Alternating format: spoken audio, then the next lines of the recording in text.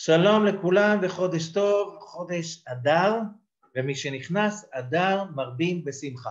למה? למה, למה, למה לא להרבות בשמחה בכל חודש? למה דווקא בחודש אדר צריך להרבות בשמחה? ובואו נראה, אנחנו ננסה לרדת לעמקי התעלומה הזאת, ומזה נבין את, ה, את הפרדוקס של, של החודש הזה, סתירה, יש פה סתירה עצומה, ולכן הסיפור הזה. בואו נסתכל על זה כך. נתחיל, אני רוצה להתחיל לקרוא בבני יששכר של רבי צבי אלימלך מדינוב, אה, שבעצם מאסף הרבה מדרשים שעוסקים בכל מזל ומזל, כל חודש וחודש. אז כך, צירוף שם הנכבד המאיר בחודש הזה, ה' ה' י' ו'. כלומר, מי שלא מכיר, כתוב בתיקוני זוהר שישנם 12 צירופים אפשריים לשם השם, לשם י"ק ו"ק, וכאשר כל אחד מהם בעצם מבטא את המהות של אחד מ-12 חודשים. וזה ממשיך ויוצא מפסוק מסופי תיבות, בראשית מ"ט פסוק י"א, עירו ולסורקה בני אתונו. ואם יוצא השם, אוקיי, אז עכשיו מה, מה אנחנו למדים מהצירוף הזה?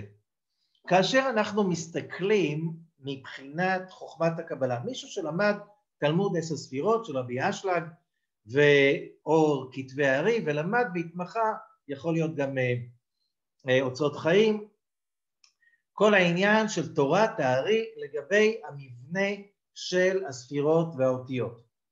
אז אנחנו יודעים שיש לנו ארבע עונות בשנה, העונה הראשונה, חודש האביב, האביב זה העונה הראשונה, י' העונה השנייה, קיץ, ה', העונה השלישית, סתיו זה כנגד הו', והעונה הרביעית, החורף, כנגד הה' התחתונה, משם י' כ' ו' כ'.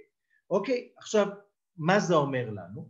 שאנחנו מדברים על חודש שהוא החודש השלישי של החורף, חודש אדר, כל שלושת החודשים של החורף הם כנגד הה' התחתונה, ספירת מלכות, שזה גם כנגד יסוד האפר. ויסוד האפר, מה זה אומר? ששלושת החודשים האלה, שזה טבת, שבט ואדר, גדי, דלי ודגים, הם חודשים שהם תחת, במהות שלהם, במקור שלהם, הם עפר. עפר זה אומר ספירת מלכות, בחינה ד', רצון לקבל, כלומר, ועל כך דיברתי בשני החודשים הקודמים, יש פה רעב, יש פה חוסר, כמו שהאדמה רעבה וצמאה למים, לאוויר, ל- ל- לחום וכן הלאה וכן הלאה, כך שלושת החודשים האלה יש בהם רעב. כאשר הרעב אה, יכול להשתנות בין חודש לחודש, אבל אנחנו יודעים ששלושת המזלות האלה יש בהם רעבתנות, רעבתנות, אה, ר, אה, חוסר ו... סליחה, והשתוקקות להשיג דברים. עכשיו, כאשר אנחנו מדברים על כך, אנחנו מבינים מדוע באמת שלושת המזלות, המזלות האלה, מי שמכיר, יש בהם רהבתנות, סוג של אה, הצטרכות וכמו שאמרנו, וצורך וחוסר. אז את זה, זה יכול להתבטא אצל מזל אה, גדי, בתור חרדות שלא יהיה לי, וזה יכול להתבטא אצל מזל דלי, שאין לי מספיק ואין לי מספיק ידע ואני חייב להכיר יותר אנשים ולהשיג יותר ידע ואף פעם זה לא מספיק, ואצל בני אה, מזל דקים יש פה עניין של רעב לחום, גם לחוכמה, חוכמה רוחנית וכן הלאה, ובעיקר חוסר, אין לי אנרגיה, אין לי כוח, אין לי מספיק, אין לי מספיק, אין לי מספיק, עד שזה יכול להגיע למצב אקוטי של תחושת קורבן בלתי נפסקת שנמשכת לאורך ימים רבים ולפעמים כל החיים. ואת זה אפשר לראות בצירוף של האותיות, כי אם אני מסתכל על הצירוף ה' ה' י' וו' ואני רואה, וזה לפי, לפי הזוהר, שאני רואה שזה מתחיל עם שני ה' שהה' מסמל כלי, כלומר החלק הדומיננטי פה זה הכלי ורק אחר כך האותיות הזכריות שזה הי' בעבר. מה זה הזכריות? זה האור הרוחני העליון. מה זה האותיות הנקביות? זה הצורך הצורך התחתון. ולכן אם אני רואה שם שמתחיל ה' כבר אני יודע שיש פה דומיננטיות של הצד הנקבי הכלי. ולכן אנחנו רואים שממש אין פה סתירה. גם מכאן וגם מכאן מזל דגים הוא מזל של הצטרכות, של צורך, של ראוותנות, של אה, חוסר. לאן זה יכול לקחת אותנו? אוקיי, בואו נמשיך הלאה. בספר יצירה מוסיף לנו, מוסיף לנו בני יששכר. כתוב המליך עוד קוף בשחוק וקשר לו כתר וצר בו דגים בעולם והדר בשנה וטחול בנפש זכר ונקבה. טחול דרך אגב קשור לצחוק. עד כאן. הנה, הוא מוסיף לנו בני יששכר, האות ה' בא בו צר היוצר בראשית חודש ניסן, והנה כל האותיות שבאלף בית הם גולם אחד. אז כך, כל האותיות של האלף בית, גולם אחד, הם יחידה אחת. שתי אותיות בנויות משתי יחידות. הה' בנויה מד' וי' בפנים, או ו', והק' בנויה ממשהו כמו ר' ובפנים ו'. אוקיי? זה שתי האותיות היחידות שעשויות משני חלקים שלא נוגעים זה בזה.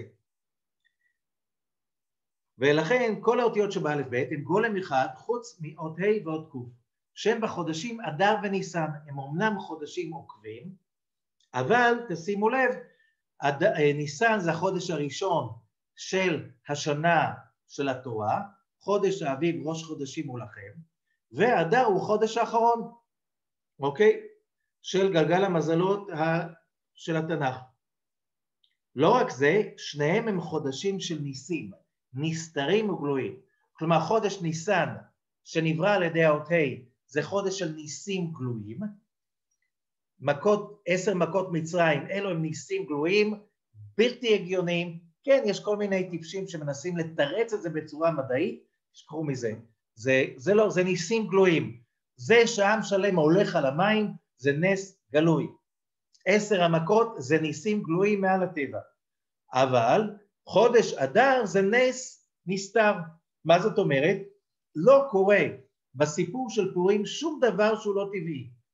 הכל זה מעין צירופי מקרים אולי מוזרים, שבדיוק אה, מלך אה, פרס לא ישן בלילה ואז הוא פותח את ספר הזיכרונות במקום לעשות מסיבה והוא, והוא מוצא בדיוק את הדף על מרדכי היהודי שעשר שנים קודם לכן הציל את חייו ופתאום הוא יש לו דאגה עצומה לפצות את... זה לא מקרה. שום נס גלוי אין פה. לא ירד שום דבר מן השמיים, לא מן ושום ים לא נחצה, פתאום המלך היה שינוי דעה כמו של המלכים בעולם העתיק ובכלל אה, כל מיני אה, רודנים טוטליטריים יש להם אה, מצבי רוח, פעם ככה, פעם ככה, כל בן אדם שיש לו כוח בלתי מוגבל, יש לו מצבי רוח, למה? כי הוא יכול להרשות לעצמו. ולרגע אחד הוא בעד המן, הוא רוצה להשמיד את כל היהודים, ברגע אחר הוא פתאום מתהפך לו המצב רוח והוא רוצה להרוג את המן ולהמליך את היהודים. ככה קרה, אוקיי? ניסים, ולכן אדר זה חודש של ניסים נסתרים, לכן זה נקרא מגילת אסתר, מגילוי של האסתר, וניסן חודש הניסים הגלויים. עכשיו על כך מופיע בזוהר פרשת תרומה, דף קמ"ח בדפוס ישן, עמוד ב', אשת חיל ההיא רשימו ועד דילי הוא אות ה'. אשת חיל, האות של הרי האות זה ה'. מה זה אשת חיל? השכינה. כאשר האור האלוקי שוכן בתוך המציאות, זה נקרא אשת חיל. זה גילוי של השכינה, שדברים זורמים, ויש הצלחה, ויש שלום, ויש ברכה, והדברים מסתדרים, ולמרות שאתה לא כזה גאון, בכל אופן דברים מסתדרים. אז זה נקרא אשת חיל עטרת בעלה, אתה רואה שהדברים הולכים כמו שצריך. אבל כאשר הדברים לא הולכים כמו שצריך, זה נקרא אשת זנונים. ההוא רשימה ועד דילה, זה ב, וזה, כלומר, יש את המלכות של הקדושה, נקראת אשת חיל, והאות שלה זה האות ה', לכן האות ה' היא סמל של הגנה. ולכן האות ה' זה האות של חודש ניסן, וכשבני ישראל רוצים להינצל מהמגפה של מכת בכורות, הם שמים סימן של האות ה', אומר הזוהר, על הדלת שלהם. ולכן האות ה' הפכה להיות סמל של הגנה, ואחר כך הצפינו את זה החכמים ליד, שזה חמש, ה' זה חמש, אבל תמיד שמו בתוך היד את האות ה'. אבל כמו שטיפשים בדרך כלל עושים, לוקחים את, ה, את השולי והופכים אותו לעיקר, ופתאום יד נהפכה, נהפך להיות סמל של הגנה. לא, האות ה' זה הסמל של ההגנה, לא היד של החמישה. אוקיי, ועכשיו, אבל יש עם זה סמל השכינה, כלומר הכלי שהקדושה שורה בו, יש גם את הכלי ההפוך, הכלי שהקדושה לא שורה בו, כי הוא לא עושה שום דבר למשוך את הקדושה, וזה נקרא אשת זנונים. והאות שלה זה האות קוף, כי רגליה יורדות מוות, שהקוף זה האות היחידה מ-22 אותיות של אלף-בית העברי, לא כולל את הסופיות, 22 אותיות, מאף אחד מה-22 אותיות לא יורדת מתחת לשורה, רק הקוף, ומה שנקרא רגליה יורדות מוות, ולכן כגוונה דקופה אצל בני נשק, כמו וקוף זה קוף של מחט, לכן, אבל זה גם כקוף לבני אדם, זה בעצם הטומאה שמנסה להציג את עצמה בתור הקדושה, והיא רמאית. ואם תתבונן לפי זה, מלכות שמיים מלכותה קדישה נרמזת באות ה' ומלכות בסטרא אחא נרמזת באות ק' וזה מופיע גם בסנהדרין, בתלמוד בבלי, סנהדרין כ"ט עמוד א'. כל המוסיף גורע. לא אומר אני לא אוסיף שום דבר, הבנתם. עכשיו, כלומר, יש פה אה, קוטביות מאוד חזקה בין שני הכוחות, זה של ניסן וזה של אדר, פה יש אשת חיל ופה יש אשת זלונים. ואנחנו יודעים שמה זה העניין של החיקוי, אתה מנסה, לדוגמה, שבן אדם הוא רעב ואז הוא רוצה להיות שבע, אז מה הוא עושה? כדי להתמלא, או שהוא מתחבר לכוח שנותן לו את המילוי של הרגע, מה זה אומר מילוי של הרגע? מילוי של אשליה, אז אתה יכול לעשות את זה דרך אלכוהול, אתה יכול לעשות את זה דרך סמים, אתה יכול לעשות את זה דרך יחסי מין, אתה יכול לעשות את זה כל מיני דברים, הימורים, שנותנים ריגוש של היי וביי. ואנחנו יודעים שבני מזל דגים, שהם לא רוחניים, יש להם נטייה מאוד חזקה ליפול לתוך כל ההתמכרויות האלה. ולהיות במצב נקבי, כמו שהזוהר אומר, מה זה מצב נקבי? פסיבי. אני קורבן, אני מסכן, אין לי... כלומר, למה? למה לא עוזרים לי? מישהו צריך לעזור לי? מגיע לי, מגיע לי, מגיע. אתה רואה את, איך הרהבתנות הזאת, הזאת הופכת להיות לאש זנונים? זאת אומרת, מישהו שעוסק בכל מיני דברים שנותנים לו מילוי של הרגע, הזנה של הרגע, אבל באופן כללי הוא נמצא במצב פסיבי, חסר יוזמה, ובעצם קורבן נצחי. זה צד אחד של בני מזל דגים. לא כולם ככה, אבל זה הצד של אחד של המזל הזה. אבל אם אנחנו נסתכל ונראה אם ממשיך פה בני שכר, הנה יתרה מספר ק' על מספר ה' צדיק ה'. יש, כשאנחנו מסתכלים על הק', זה בגימטיה 100, הה' זה בגימטיה 5. מה ההפרש? 90 צדיק ה' שזה 95. מזה תתבונן מה שכתוב במגילה, מגילת אסתר, פרק ג' פסוק א', אחר הדברים האלה גידל המלך בגימטריה 95, אחשוורוש את המן בגימטיה 95, כלומר, במניין מספרו 95 להגביר את עצמו על מלכות שמיים ועל ישראל בני מלכים. כלומר, הנה האות קופיה מולכת באדר ואות ה' בניסן, וכמו שנתגברה מלכות שמיים בחודש ניסן, ברשימה ועוד דילי אות ה', על ידי השימוש והכוח של האות ה' שהיא האות של חודש ניסן, כן רצה מלכות חייבתה כלומר המלכות של הסטרא אחא, להתגבה בחודש הזה ולהשתמש באות שלה שזה אות קוף, כקוף בפני אדם, בפני, בבני אדם. שהנה גם אני, גם אני, גם אני. על ידי זה גידל המלך את המן, וזה המספר הנוסף. אוקיי, אז בואו ננסה להבין מה זה אומר. יש מגילה, במגילת אסתר, חז"ל אומרים שכאשר כתוב המלך, הכוונה למלך המלכים, מלך מלכי, מלך העולם. ולכן מגילת אסתר מהודרת, נקראת מגילת המלך כי מקפידים בראש כל עמודה לכתוב את המילה המלך. כמו שבספר תורה בסוף, בראש כל עמודה יש את האות ו' ברוב המקומות, חוץ מחמישה מקומות. יש את האות ו'. מי זה המלך? מלכו של עולם. מי זה הו'? מסמל את ספירת זרנפין שהוא המלך. מי זה ההי? זה מלכות. עכשיו, ופה יש לנו את המחלה, ותמיד ליד המחלה יש את הרפואה.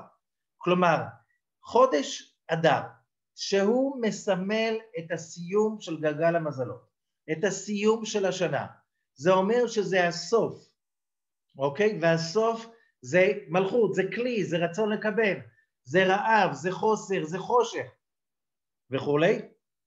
מצד אחד זה מסמל שאת המקום האחרון, הסופני, שאליו לא מגיע האור.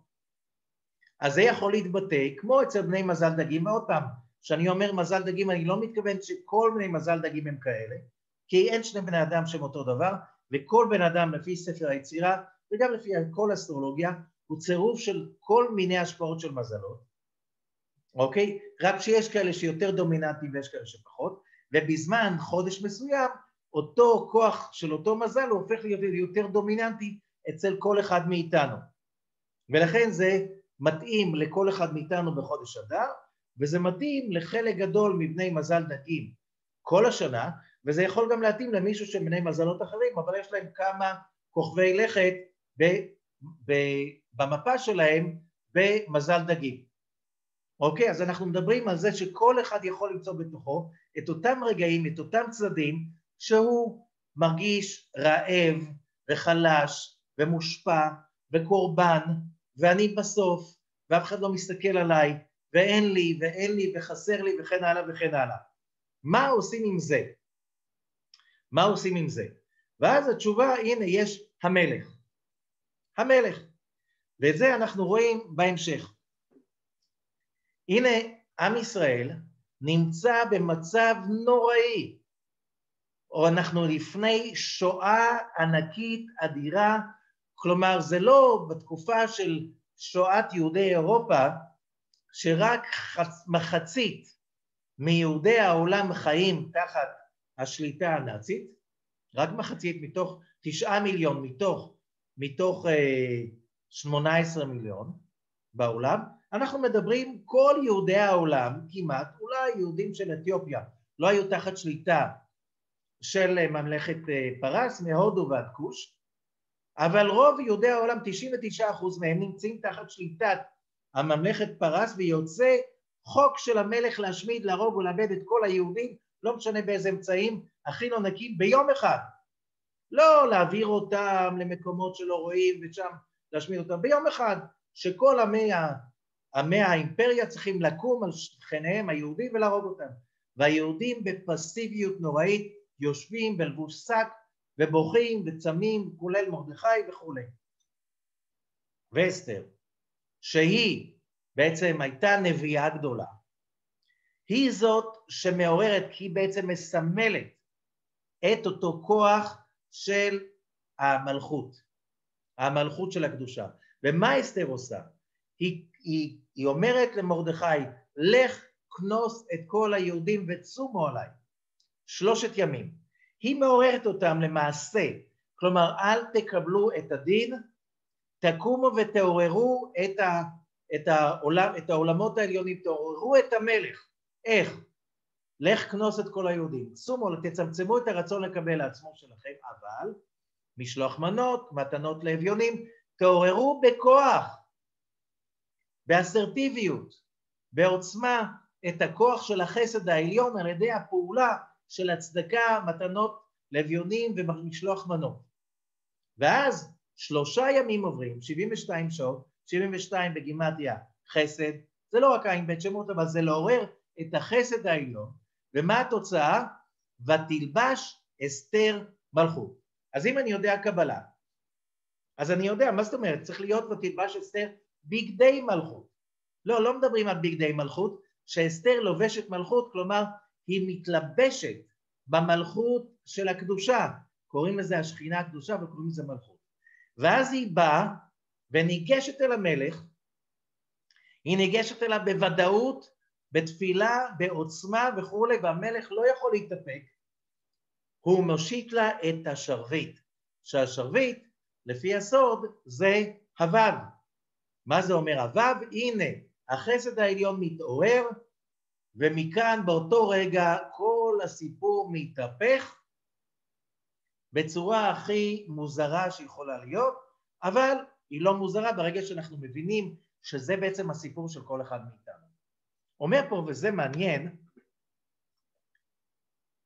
הנה שם המלאך, יש לי לומר על פי מה שישנו מדרש פליאה, יש מדרש עתיק שנקרא מדרש פליאה, תורה שבעל פה, כלומר על מה קרה שם, ששאלה אסתר מפני מה נתחייבו שונאיהם של ישראל כליה, והשיבו לה מן השמיים, אסתר הייתה, אמרנו נביאה גדולה מאוד, אחרת מגילת אסתר לא הייתה נכנסת להיות אחד מ-24 הספרים של התנ"ך. והיא שאלה בעולמות העליונים למה נגזרה גזרה כל כך נוראית של לכלות, להשמיד, להרוג ולאבד את כל היהודים. והשיבו לה מן השמיים מפני, ששנה, מפני שנעשו ישראל מח ורש. מה זה מח ורש? המזל דגים הקלאסי, הלא רוחני, הוא מח ורש.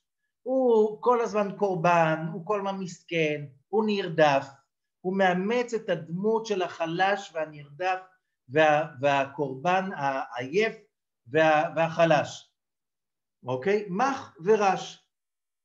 מיד פתחה אסתר ואמרה, תהילים כ"ב, פסוק ב', אלי, אלי, למה עזבתני? עד כאן. זה מה שכתוב במדרש הפליאה. וכתבו בשם מורנו הרב שמשון מאוסטרפולי, הקדוש זכר צדיק לברכה. בפירוש זה המדרש. להיות דבכל, אחד מצדיקי אה, אה, מזרח אירופה מלפני אה, אה, מהמאה ה-17, להיות בכל מלאך אותיות משמות הקודש, אשר בו הן חיותו של אותו מלאך. הרי שום מלאך, שום דבר, לא יכול להתקיים בלי החיות העליונה. הנמשך אליו אותה חיות של קדושה נמשכת לאותו מלאך או לאותה בריאה מחיי כל החיים ברוך הוא. וכשמסתלק ממנו חס ושלום האותיות של השמות נשאר בלי תנועה וחיות. והנה המלאך מיכאל שהוא המלאך האפוטרופוס, המלאך המגן והשומר על עם ישראל, אם נוציא ממנו את האותיות עלי יישאר מח. ואם נוציא מה, מהשם ישראל את האותיות עלי, א' ל' י', יישאר רש. כלומר, מרוב זה שעם ישראל התנתקו מהחסד העליון, מהקדושה העליונה, מההצלה העליונה, שזה בעצם המטרה של כל אחד מאיתנו, להתחבר לקדושה העליונה, ואם אנחנו לא מתחברים לקדושה העליונה, כי אנחנו עסוקים. רגע, צריך להתפרנס, צריך כסף, צריך uh, לעשות חיים, צריך למסיבות uh, ובידור, ו, וצריך לקנות מוצרים, וצריך לקנות בתים וכולי. אבל אם אדם לא משקיע בכל רגע ורגע את ה, למשוך את החיות האלוקית לכל מה שהוא עושה, מה נשאר? מה נשאר? זה ריק, זה יבש, אין שם כלום. ולכן מיכאל נהיה מח וישראל נהיה רש. ולכן על ידי הצום, הצמצום, כי מה קרה לעם ישראל אחרי באותה תקופה? אנחנו מדברים, הייתה מלחמת עולם לשתי מעצמות, מעצמה אחת, מעצמת הרשע בבל, ש, שהרסה את בית המקדש, החריבה את ירושלים, הגלתה את היהודים לבבל ולמסופוטמיה, ואז היהודים לוקחים את הצד של הפרסים, של כורש, שהוא היה פלורליסטי וליברלי, והיה מוכן להכיל את כולם ובוא נעשה מעשה אימפריה, אבל כל אחד יש לו את המקום שלו. והיהודים הולכים איתו נגד הבבלים, וכורש מנצח, ועכשיו אתה בצד המנצח.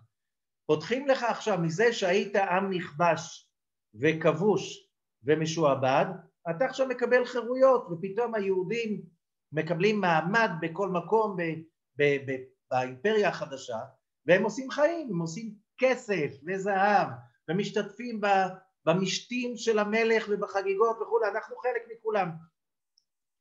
הכי גרוע, אנחנו נהיים מפוזרים ומפורדים, בעיקר נפרדים מהוו העליון, נפרדים מהקדושה העליונה.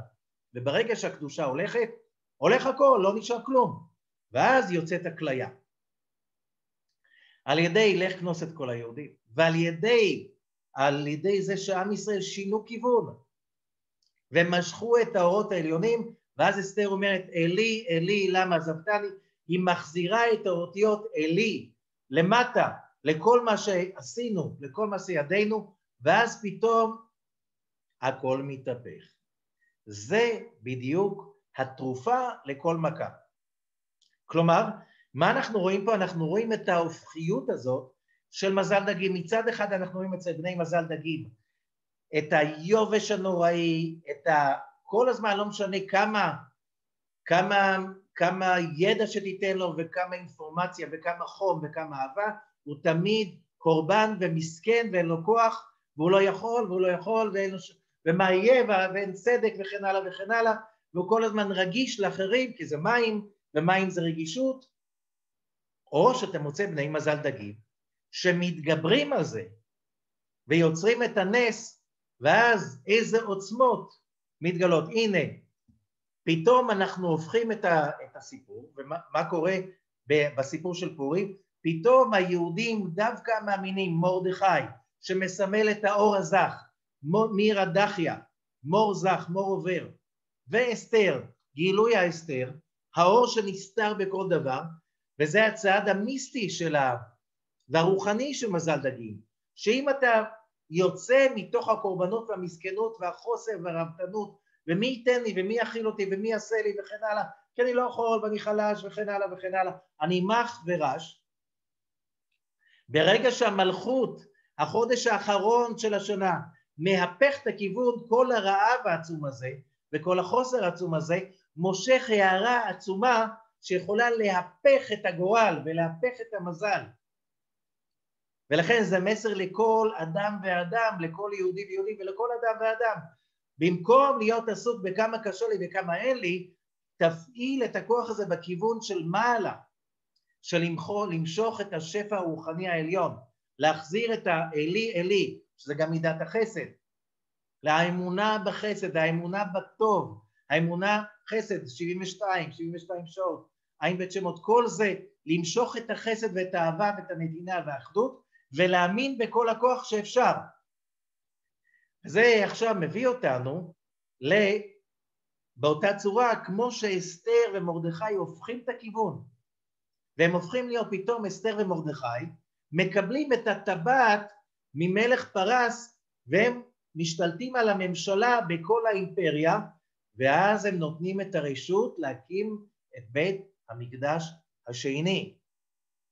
והכל מתהפך ותקופת בית שני עם כל הגילויים האדירים של אנשי כנסת גדולה, עזרא ונחמיה, אנשי כנסת גדולה, ואחר כך כל זה שמתבטא במשנה ואחרי זה הגמרא, כל זה, הכל, כל התקופה האדירה הזאת, ברגע שמרדכי ואסתר מהפכים את הכיוון, ממח ורש למיכאל וישראל. את מה זה מזכיר לנו? יוסף. יוסף יושב בכלא מח ורש בחושך הכי גדול, והוא מהפך את הכיוון, ואז ברגע אחד ויריצו מן הבוק הוא מקבל את טבעת המלך. שימו לב, מי זה יוסף? 12 בנים ליעקב כנגד 12 מזלות. איזה, מהו מזלו של יוסף? אדר. יוסף מלשון מאסף. מה זה אדר? אידרה. יש אידרה של דגים, ויש אידרה בארמית זה אספה. לאסוף. ומה הברכה שיעקב אבינו מברך את שני הבנים של יוסף וידגו לרוב בקרב הארץ, שזאת ברכה גם כן כנגד עין הרע. איזה עוד ברכה יש כנגד עין הרע? בן פורת יוסף, בן פורת עלי עין. והדגים הם סמל של הגנה מעין הרע, כי הם אין שולטת בהם עין. בן פורת יוסף, בן פורת עלי עין, ומעל העין. אוקיי? והנה יוסף, המאסף של כל השפע של כל המזלות, אל ספירת יסוד שהיא המסיימת של עץ החיים, והנה החודש אדר מאסף את כל השפע מכל יתר החודשים כדי להעביר את זה לשנה הבאה. שנה בגימטיה ספירה, זה כלי. ויוסף שלא משפט הבכורה, הוא מקבל שני, שני שבטים, מנשה ואפרים, שני חודשים, אדר א' ואדר ב'.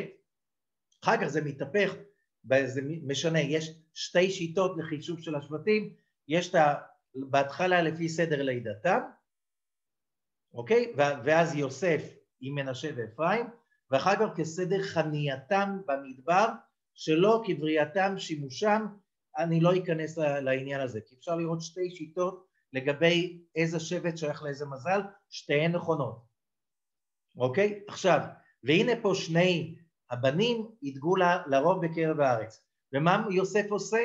הוא לא מסכן, הוא לא קורבן, הוא לוקח את החוסר האדיר הזה של להיות עבד בבית הכלא במצרים כדי ליצור רצון וחשק ורעב עצום להתחבר לשפע העליון ולאמונה שלמה. בזה שרק בורא עולם המלך הוא זה שקובע ולא אף אחד אחר. והתוצאה שהוא מגיע למקום הנכון ויריצו מן הבור והוא מקבל את טבעת המלך. כמו שמרדכי ואסתר מקבלים את טבעת המלך.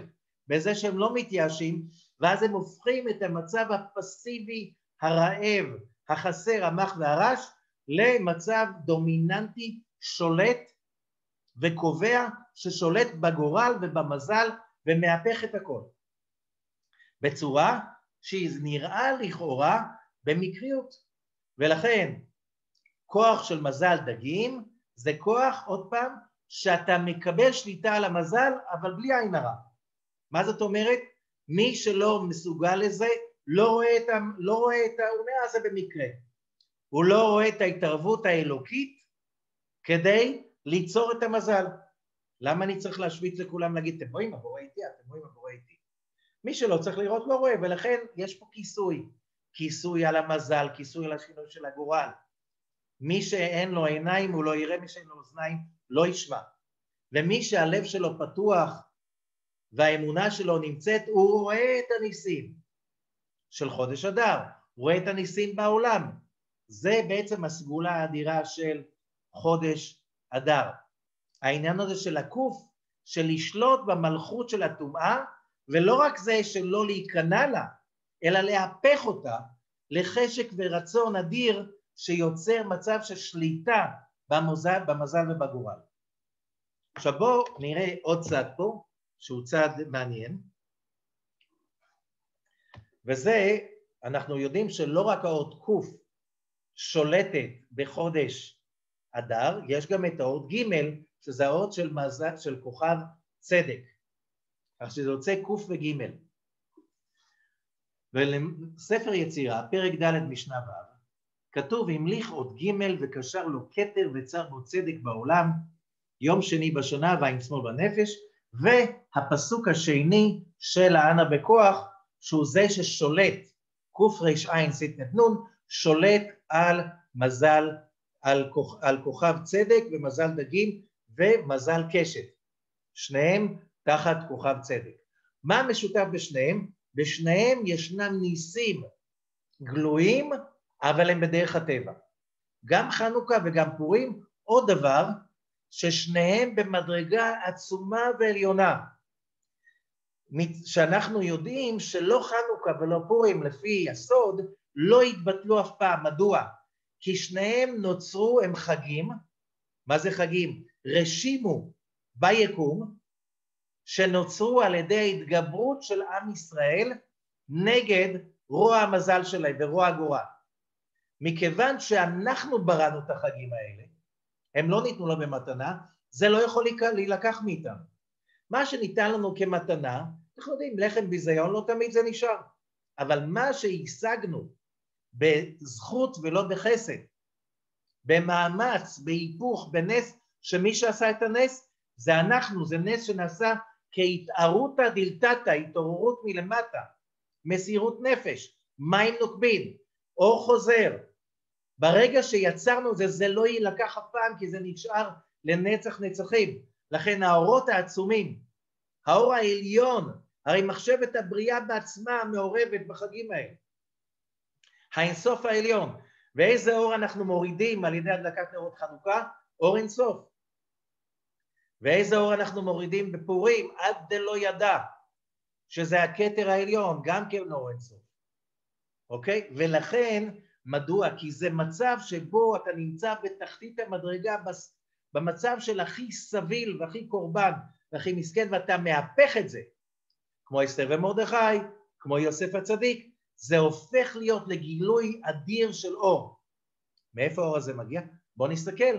אם מצד אחד עד עכשיו דיברנו על הצד הפסיבי, הכלי, המלכות, המלכות הריקה, המלכות היבשה, אה, אה, אשת זנונים וכן הלאה, שמכיוון שהיא יבשה וריקה אז היא מסכנה ו... ומתרצת את זה בכל מיני דרכים הגיוניות, למה אני מסכן, ולמה אין לי מזל, ולמה הפלו אותי ואכלו לי ושתו לי. ברגע שאדם מוותר על זה, ואז הוא מקבל את הצד הנוסף, שזה הגימל. מה זה הגימל? גומל דלים. גומל דלים. והגומל דלים, איך נראית הגימל? זה ו', שזה הו' של ספירת זרנטין, כאשר בתחתית, ברגל של הו', מודבקת היוד, שזה השפע העליון של עשר ספירות של הערה, שהו' מעבירה מלמעלה עד, עד למטה למלכות. כלומר, השפע האדיר הזה שכוכב צדק מאפשר, זה, זה הצד הזכרי שהוא תמיד זמין בחזקת הקדים הקדוש ברוך הוא תרופה למכה. אתם תעוררו מלמטה, אל תדאגו, זה יבוא מלמעלה. ולכן המליך עוד ג' וקשר לו כתר וצר צדק בעולם שהעלה עוד ג' פה פירוש של אה, הרב"ד, רבי אברהם בן דוד מפוסקירס, להיות ראש בכוח כתר עליון וחוכמה ושם בו כוח שלום מכוח החסד, שלום מלשון שלמות, מכוח החסד, הנה החסד שדיברנו עליו. רק תתחברו לזה ותעוררו את זה. וסיגל בו על החסד, ויושר, וצדק, וענווה, ומעשים טובים, ושם טוב, ובעל דין של חסד, ואנשי שם ונאמן, אנשי שם ממקום של טוב שם טוב, משמן טוב. ונאמן, וחוכמת התורה שנאמר בתורת חסד על לשונה. והסתירות בדין בני חלוף, מה זה סתירות בדין בני חלוף? ומכך ומשא ומתן זה סתירות, הצלחה בכל עסק, ורווח, והעושר, בעין, כי לא הכסף ותקווה טובה של חסד והחדווה והנישואין. כלומר, כוכב צדק מראה שעל המזל הזה, מזל דגים, ישנה השפעה אדירה של חסד ותקווה טובה והצלחה וכן הלאה. כלומר, מי שמצליח להתגבר על הנקביות, הפסיביות והקורבניות של המזל, הוא מהפך לצד השני שיש בו שפע בלתי מוגבל, שאותו מסמל את הגימל של כוכב צדק. הוא מורה על הריון בסוד כוח סוד הגלגול, והבנים המצליחים כי הם הנפשות המושלכים. הכל שפע שיורד, פתיחה של הצנרת העליונה, אותם עשר ספירות של שפע שיורדות דרך הוו, זה הגימל. ולא השלום והשלווה והביטחון מכל פחד, ועוזר בחסדו, ואוהב הנאמנים, ויישובים טובים, ובתים נעים, כי הוא תחילת הבריאה, והיכלי מלכות, ועבודת מלך מלכי המלכים הקדוש ברוך הוא. כלומר, שוב, זה העניין של עבודת השם, שברגע שאדם אומר, לא, לא, לא, אני לא נכנע לצד הפסיבי והנקבי והחלוש, המח והרש, אני מעורר את עצמי לעבוד את השם אלוקיי, את המלך, מלך מלכי המלכים, מתעורר שפע עצום, כי יש כלי לזה. ומציאות חן וחסד ומליץ ביושר ונוטה לצד חסד ופותח בזכות וברכת הארץ ורוב תבואה בשל, בשלום העיר וחברת האוהבים ורפואת החולים. אז זה חודש של רפואת החולים גם כן. ושלום האסירים והחבושים בדין בני חלוף. כלומר, כל אותם שנמצאים במצב של ייאוש וקורבנות ומסכנות, זה הזמן להפך את הכיוון הזה לניסים של...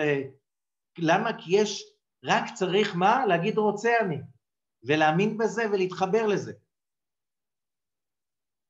ומליצים טובים על ידי מלכי אמת ושופטי צדק, בדולח אליו נמצאים כשהוא כמראה אבן ספיר, והשגת כל חפץ, מילוי בקשות, יש בחודש, בחודש הזה. ולא מן האנשים הנכבדים ונשואי הפנים, והחזנים בבתי כנסיות, ומושב החסידים, ותפילות ותחנונים ובתי המתבודדים לעבודת השם. ויורה על היוקר בסחורות, למה שיש שפע? אז המחירים עולים. גם בחיטה, ויורה על יועצי המלכות והשותפים, כל מה שקשור למלכות, לשפע, או מה שאומרים בעברית, קרוב לצלחת. שזה הצד, זה בדיוק הקוטביות שיש במזל הזה. ש... איך, מה הסמל של מזל דגים? שני דגים. ב... זה הפוך לזה. או שאתה קורבן ומסכן, או שאתה קרוב למלכות, ואתה חוסה בצל השפע העליון בלי גבולות, ואתה מתמוגג בתוך, ואתה מת, מתבוסס לך בתוך אמבטיה של דבש ושפע וכל טוב. זו הבחירה שכל אדם צריך לעשות. כלומר, דווקא בזמנים שבהם אנחנו מרגישים הכי מחים וראשים, זה הזמן להבין, הנה עכשיו נבנה הכלי, שאם עכשיו תהיה מסירות נפש והתעוררות מלמטה, ואיך אנחנו רואים את זה? מהי השבת הכי חזקה בשנה? שבת זכור, השבת שלפני פורים. קוראים בית, זכור את אשר עשה לך עמלק. עמלק בגימטיה ספק. מה זה ספק? מח ורש. אה, לא יודע למה זה קורה לי, ואולי אין השגחה, ואולי זה באמת לא יצליח, ואולי אם יש השגחה לא עליי, כי אני לא בסדר, כי אני קורבן, כי לא מגיע לי, כי אני אפס, כי אני, כי אני הפסדתי במלחמה ובקרב, מה כבר אני יכול להשיג בחיים וכן הלאה וכן הלאה, וברגע שאדם מהמקום הכי נמוך הזה מצליח להתעורר ולהתהפך באמונה שלמה בוודאות מוחלטת, שזה ההפך מהמלך, זה להפך את הנקביות למה?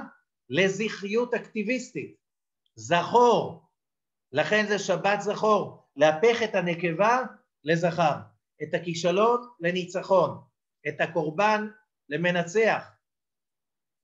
זה בעצם הכוח של השבת הזאת, וזה הכוח האדיר של פורים.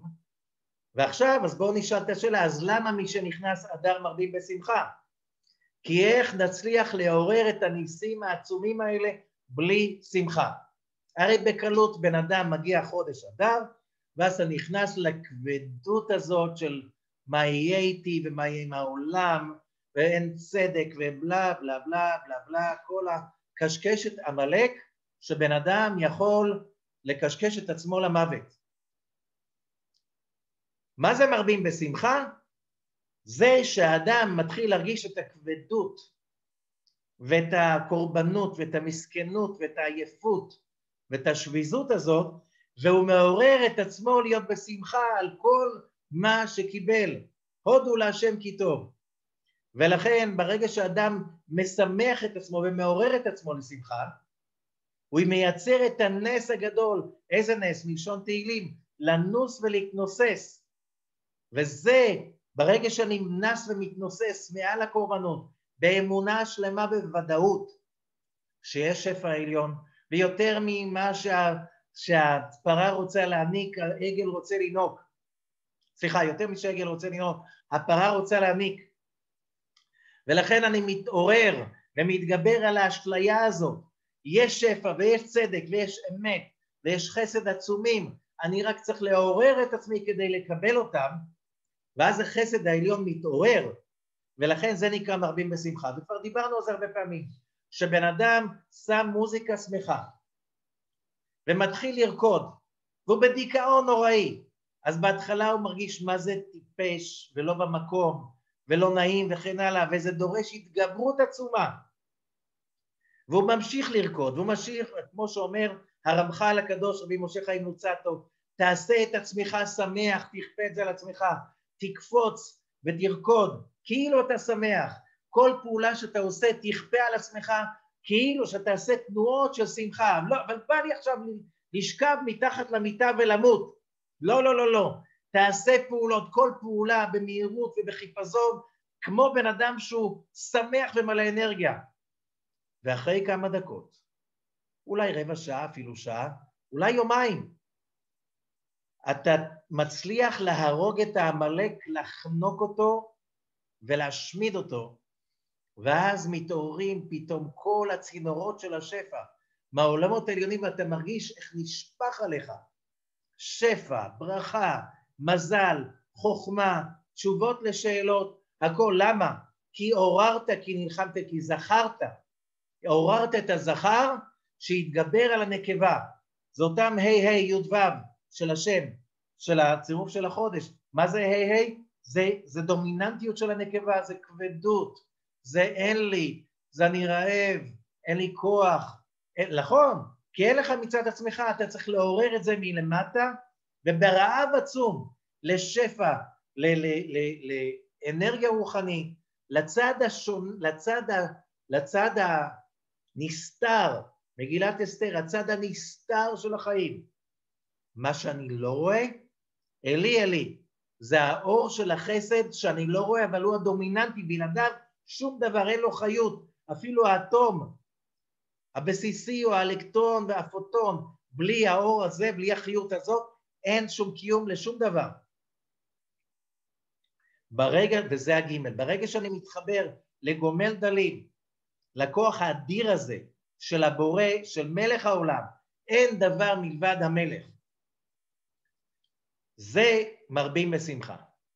מרבים בשמחה. ואז קורים הניסים. ומאחר שאתה מלמד את זה את עצמך, בחודש אדר אתה עכשיו מכאן יכול להשליך את זה לכל השנה.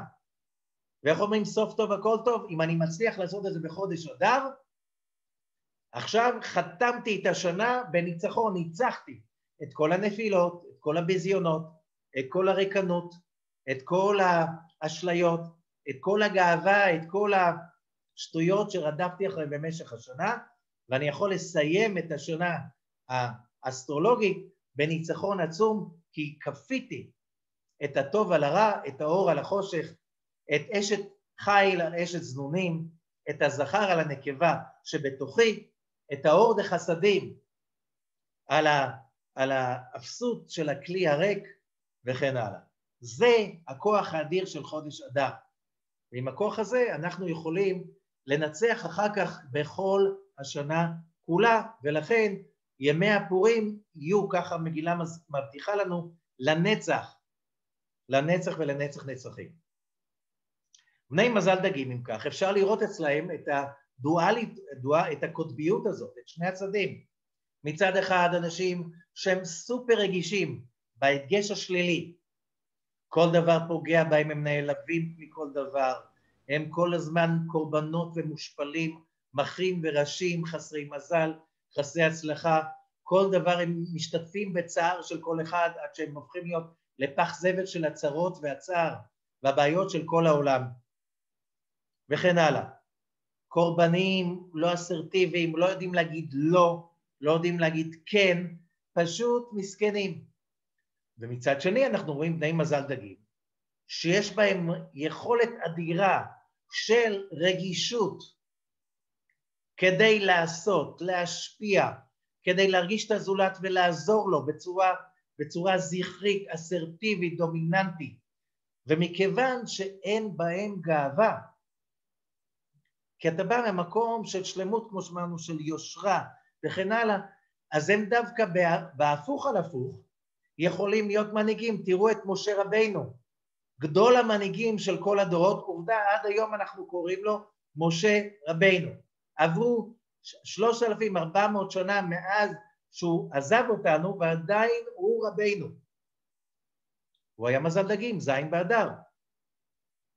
מזה, והאיש משה ענב מאוד. דגים. אז הוא לא חושב שזה הוא, כי הוא חושב שהכל זה מהאור של הבורא. כי הוא כן, כן התקומם, הוא כן התגבר. הוא כן התגבר על כל מי אני ומי אני שתשלח מישהו אחר. מי אני שאני יוצא? אני, אני מזל דגים, אני כלום, אני אפס, אני... ובורא עולם, מה, אני שולח אותך דווקא בגלל זה, כי אתה לא רץ על השררה ועל הנהגה בשתי ידיים ברהבתנות, אה, תביא לי את הכבוד ואת הכוח. זה הכוח של המשה, זה הכוח שדווקא בני מזל דגים יכולים להיות המנהלים הכי טובים, המנהיגים הכי טובים, כי זה, זה לא בא ממקום של שררה וגאווה, זה בא ממקום של רגישות ועזרה ואכפתיות לאנשים אחרים. וזה הסוד הגדול של חודש אדר, שיכול, כמו הידרה, אספה, לאסף כוחות עצומים ומלא אותנו בשפע אדיר, שיישאר לעוד שנה. תודה רבה לכולם וחודש.